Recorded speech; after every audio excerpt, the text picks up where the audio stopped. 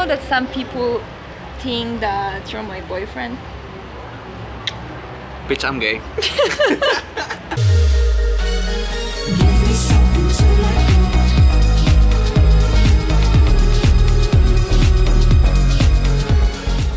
Hej, witam Was. Właśnie wstałam, jest jakoś po siódmej, dopiero co wzięłam prysznic i teraz muszę wychodzić, bo dzisiaj przede mną cały dzień prób. I mega mnie to smuci, że muszę nagrywać teraz vloga od zera, że nie zobaczycie tego, co nagrałam wcześniej.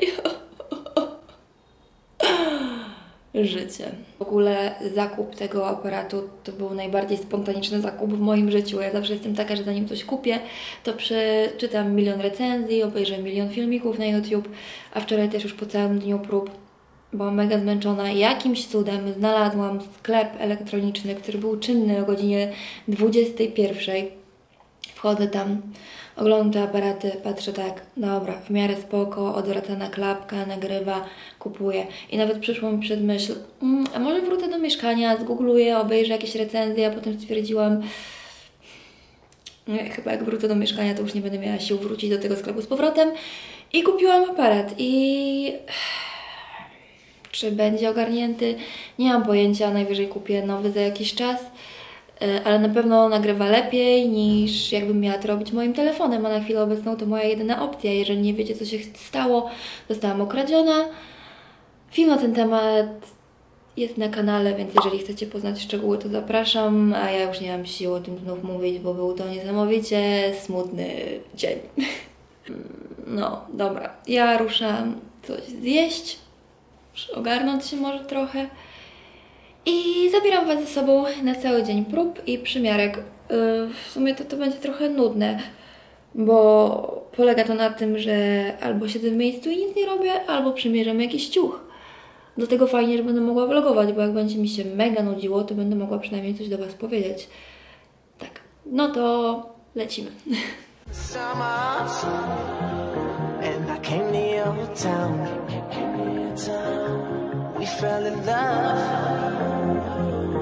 We fell and we burned it to the ground. And, and we could be together, baby. But I gotta leave soon. I gotta leave soon. Everybody's listening now, but we got nothing to lose. When I met you in the summer.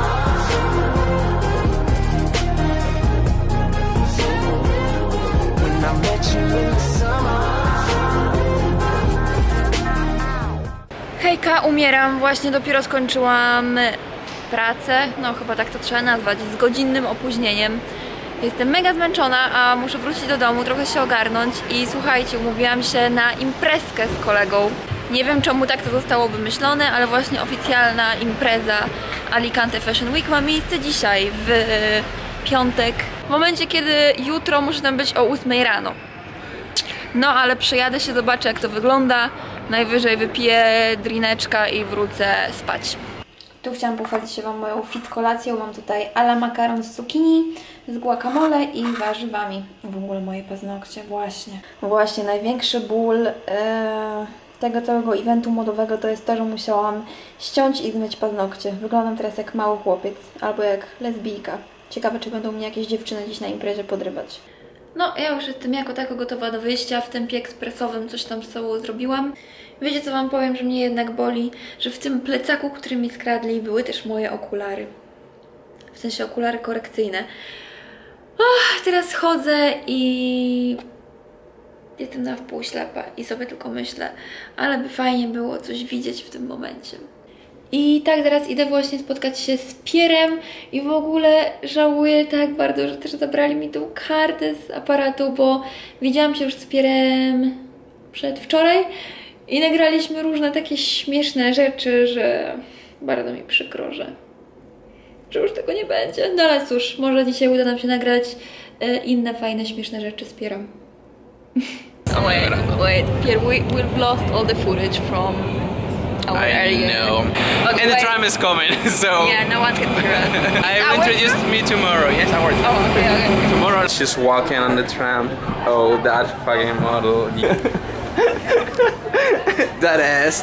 Check that ass. you were like this.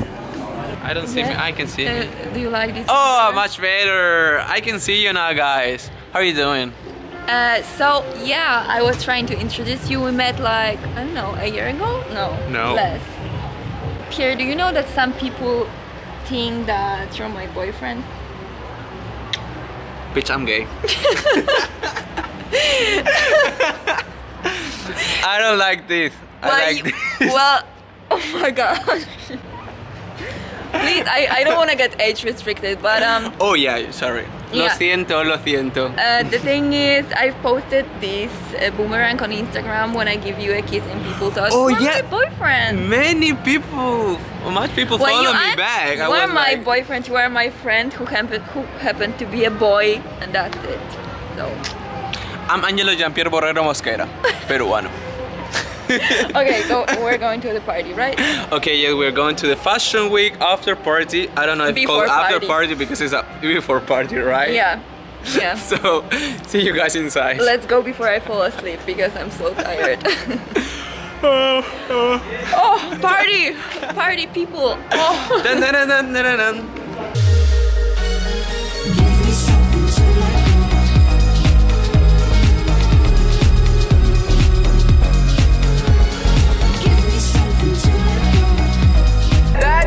dollars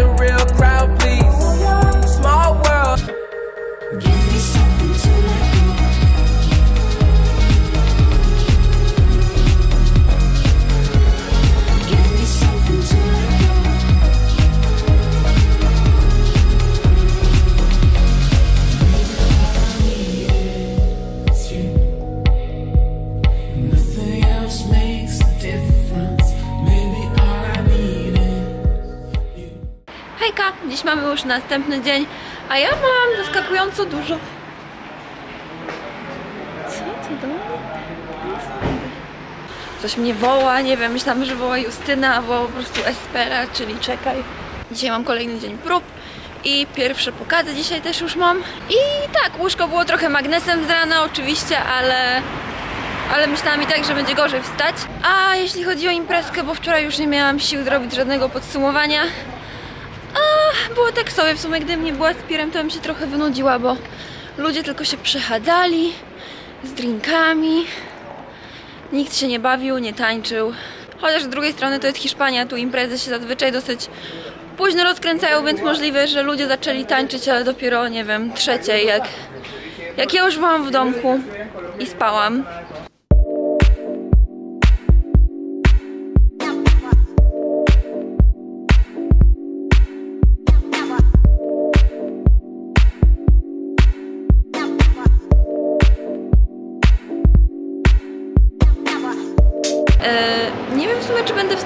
Pokazać do końca e, te pokazy, no bo ja cały czas jestem tu. E, Wieczorem jak przyjdzie Pier, to poproszę go, żeby coś ponagrywał, a tymczasem zobaczymy. Może później znajdę gdzieś czyjeś wideo po prostu i będę mogła powrzucać. Podkradnę komuś.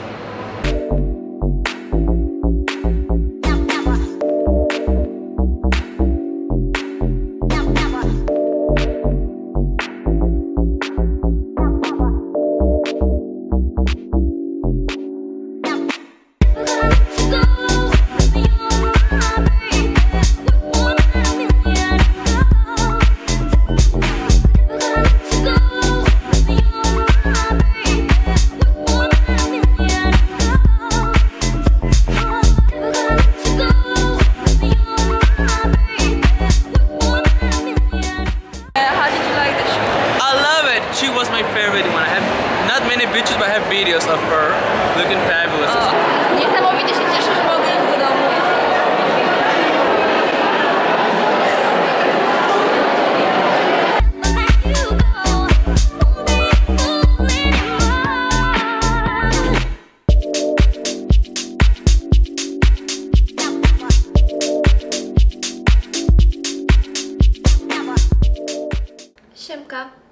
nareszcie jestem już w łóżku. Mamy zmyty make-up, czuję się jak nowonarodzona. Tak, muszę trochę nazbierać sił, bo jutro znowu ruszamy z tematem. Z domu ma być na ósmą już tam. Odezwę, odezwę się więc do Was rano, a tymczasem dobranoc. Hej, Hejka, mamy już kolejny dzień i cóż, jestem już gotowa, a do następnego pokazu i tak mam jeszcze półtorej godziny, więc będę siedzieć i nie wiem, czytać książkę. I tak właśnie, wiecie co, praca modelki nie jest zbyt ekscytująca, w 90% to jest po prostu siedzenie i nie robienie nic, czekanie na coś. Siedzenie i czekanie, aż będzie Twoja kolej na przymiarkę, siedzenie i czekanie, aż będzie Twoja kolej e, na make-up, na włosy, a tylko 10% czasu to jest autentycznie to, co jest najbardziej ekscytujące, czyli jakieś próby, fitting, fittingi, chodzenie, czy nawet bycie malowaną i czesaną, a większość czasu wszystkie tutaj po prostu chodzimy znudzone, snujemy się, czytamy coś albo siedzimy w telefonach. To chyba tylko w top model wygląda tak ekscytująco, jak jest odpowiednio zmontowane, że praca modelki, te wszystkie fashion weeki są takie dynamiczne, tyle się dzieje, ciągle ktoś krzyczy, ktoś gdzieś biega. Niekoniecznie, przed większość czasu wręcz przeciwnie, wszyscy siedzą po kątach, totalnie zamuleni albo snują się jak skończone mimozy.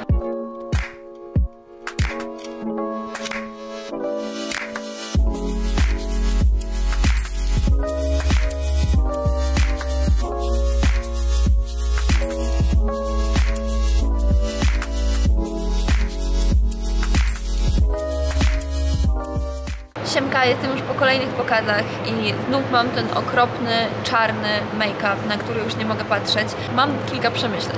Już dawno nie widziałam bowiem tyle rozebranych dziewczyn w jednym miejscu jednego dnia. Mam w związku z tym właśnie różne refleksje. Po pierwsze, mimo że bardzo staram się tego nie robić, to za każdym razem podświadomie porównuję się do innych dziewczyn i albo myślę sobie wow, jak to możliwe, że ona jest ode mnie dwa razy chudsza, ma dwa razy większe cycki i pupę albo z drugiej strony myślę sobie wow, nie no, ja to chyba jednak jestem w całkiem niezłej formie, bo mam, nie wiem, lepszy brzuch niż pupę, czy niż tamta. I takie porównywanie się jest totalnie bez sensu, bo, bo wiadomo, że, że wszyscy jesteśmy różni i, i, i- to jest strasznie głupie, bo ja sama ze sobą jakby czuję się dobrze w swoim ciele, więc, więc dlaczego patrzę na innych i porównuję się do innych? Bez sensu, ale no cóż, taka jest trochę ludzka natura, z którą można walczyć, ale trudno wygrać. Ale inne przemyślenia, które mam, są już trochę bardziej pozytywne i są właśnie takie, że to jest niesamowite, jak różne formy mogą przyjmować kobiece ciała. W sumie nie tylko kobiece, ludzkie ogólnie. I jak to jest, że właśnie jest tutaj tyle dziewczyn, które totalnie się między sobą różnią, a jednak e, są wszystkie na swój sposób piękne. I też widzicie, one się bardzo między sobą różnią, a i tak są jakąś tam wąską e, grupą, bo są wszystkie modelkami, a, a między sobą nawet e, mają tak najróżniejsze formy.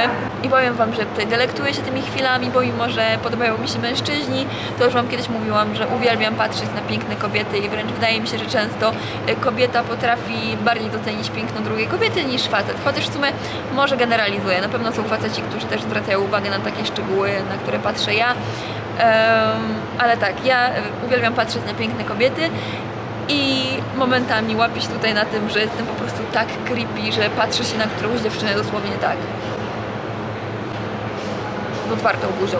Bo są tutaj dziewczyny, które mają tak oryginalne rysy twarzy, że mogłabym się patrzeć na nie całymi dniami. Dziewczyny, które mają zupełnie e, inną karnację i pochodzą zupełnie e, innych miejsc. Moją faworytką jest na przykład dziewczyna, która ma ciemną skórę i jest w białe łatki. Tak jak ta słynna modelka, która była w amerykańskim top model Willow, coś tam chyba się nazywa. No i to jest takie słodkie, on wygląda jak kotek w łatki. I niesamowite jest też to, że wszyscy tutaj są mega zdystansowani do tematu cielesności, bo jednak trudno nie być, jeżeli cały dzień chodzimy tutaj i oglądamy się nawzajem e, praktycznie nago. I, I to jest też niezłe doświadczenie, że, że możemy sobie od, tak pogadać otwarcie o tym, że wow, a ty masz to takie, a ja takie, a ty masz to inne niż ja, a ty masz piękne to, stratatata. I że właśnie mogę podejść do takiej dziewczyny bez ogródek i powiedzieć jej wow, masz cycki, włatki, ale to jest słodkie, jesteś kotkiem. I to nie jest creepy, bo gdybym podeszła do kogoś na ulicy i tak powiedziała, to chyba by nie przeszło, a tutaj przechodzi, więc jest to niezłe doświadczenie, bo, bo zazwyczaj się z ludźmi tak otwarcie o takich rzeczach nie mówi. A nawet jeśli rozmawiam na, na takie tematy z koleżankami, to raczej nie stoimy w tym czasie koło siebie nago, więc też jest to inne doświadczenie. I jeszcze jedna myśl, którą mam, jest taka, że właśnie ja tutaj chodzę i podziwiam, jakie piękne i wyjątkowe są te dziewczyny, a niedawno dowiedziałam się, że y, dla niektórych to ja tutaj jestem egzotyką, bo właśnie stoi nade mną kilka dziewczyn i mówią wow, ale ty masz oczy, no niesamowite, piękne oczy. Ja sobie myślę, o co im chodzi? Przecież ja mam beznadziejne oczy, cały czas przeżywam, jakie mam małe oczy, cały czas porównuję się do innych dziewczyn i myślę sobie, wow, ta to ma ekstra oczy, na niej ten makijaż wygląda 10 razy tysięcy lepiej niż na moich małych oczach a zdałam sobie sprawę, że im chodzi o to, że ja mam niebieskie oczy i autentycznie rozejrzałam się i dopiero zauważyłam, że jestem tu jedyną dziewczyną, która ma oczy w kolorze niebieskim. Co, co dla niektórych tutaj wydaje się czymś niezwykłym, bo wiecie, w Hiszpanii raczej jasne oczy się nie zdarzają. I to właśnie dowodzi, jak e, wszyscy się między sobą różnimy, a jednak każdy ma coś wyjątkowego i może nawet sam tego nie zauważać, a zauważa to ktoś inny. I, i, i, i taki chyba właśnie wniosek ostatecznie chciałam tutaj e, wysunąć, że, że to jest niesamowite, jak ludzkie ciała między sobą się mogą totalnie różnić, a jednak w tej swojej wyjątkowości być piękne na, na, na tak najróżniejsze sposoby. I tak, idę właśnie z powrotem e, podziwiać to piękno, bo zaraz mam następne przymiarki, więc idę oglądać jeszcze więcej rozebranych dziewczyn. I mam nadzieję też, że zmienią mi ten okropny make-up.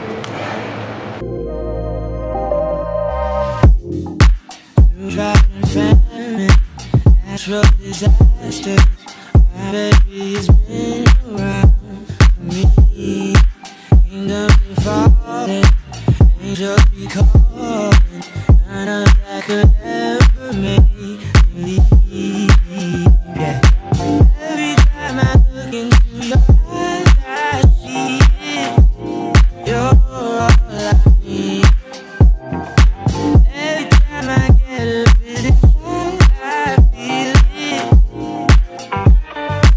Ooh,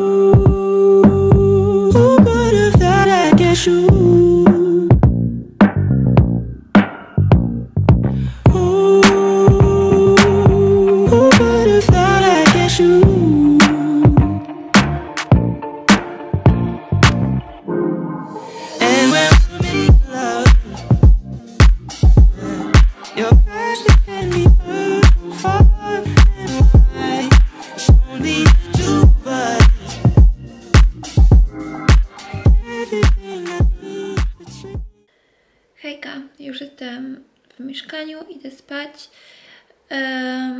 Po evencie musiałam jeszcze zajść zrobić zakupy, bo okazuje się, że jutro jest jakieś święto narodowe i wszystko będzie zamknięte. E, I chyba w ogóle zakończę w tym momencie tego vloga, bo tak, chyba zakończenie Fashion Weeku będzie e, dobrym zamknięciem, e, zamknięciem całego filmu i będzie tak monotematycznie, a kolejny vlog już będzie o czym innym, bo już, już właśnie Fashion Week się dzisiaj zakończył.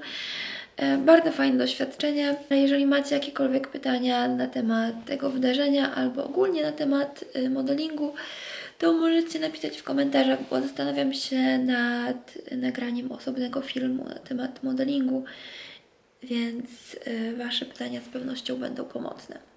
I tak, w tym momencie już kończę ten film. Dziękuję Wam bardzo za oglądanie. Jeżeli Wam się podobało, to zostawcie łapkę w górę. Eee, wpadnijcie na mojego Instagrama i Snapchata.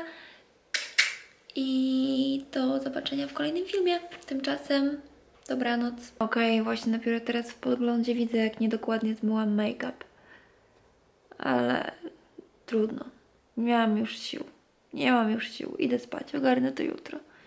I właśnie to jest kolejny powód, dla którego robienie sobie czarnych kresek na wodnej linii to jest koszmar.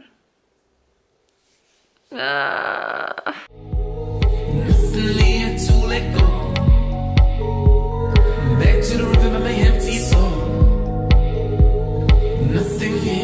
Let go.